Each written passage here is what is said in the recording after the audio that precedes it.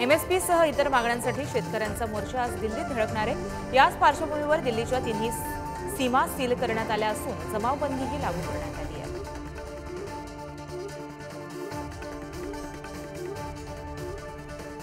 शेतकरी मोर्चाच्या पार्श्वभूमीवर आज दिल्लीमध्ये पोलिसांचा तगडा बंदोबस्त ठेवण्यात आलाय.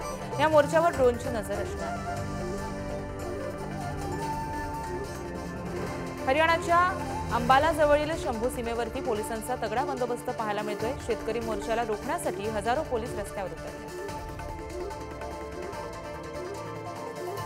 किसान मोर्चाच्या आधी गाझीपूर बॉर्डरवर मोठी वाहतूक कोंडी निर्माण झाली. यावेळेस वाहनांच्या लांबच लांब रांगा लागल्या. दिल्लीतील मद्य धोरण घोटाळा प्रकरणी आपचे नेते मनीष सिसोदियांना दिल्ली न्यायालयानं तीन दिवसाचा अंतरिम जामीन मंजूर केलाय. भाचीच्या लग्नाला उपस्थित राहण्यासाठी हा जामीन मंजूर करण्यात आलाय.